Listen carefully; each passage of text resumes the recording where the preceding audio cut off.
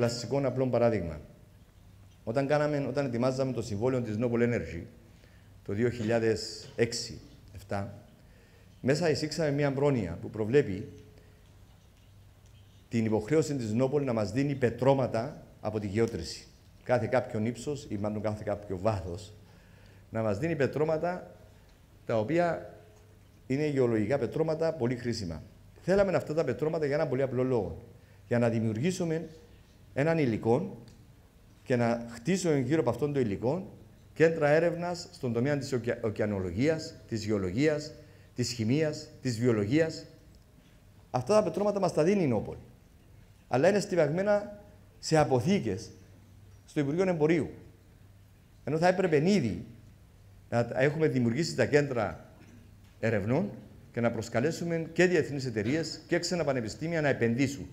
Είναι περιζήτητα αυτά τα πετρώματα, διότι ένα ερευνητικό κέντρο ή μια εταιρεία που ασχολείται, αν θέλετε, με το, η προστασία της θάλασσας ή το φυσικό περιβάλλον ή τη γεωλογία ή τη βιολογία, για να αποκτήσει αυτά τα πετρώματα πρέπει να δαπανίσει πάνω από 300-400 εκατομμύρια για να κατέβει σε αυτόν τον βάθος της θάλασσας να αποκτήσει αυτά τα πετρώματα. Και εμείς τα έχουμε και τα έχουμε στηβάσει σε μια αποθήκη.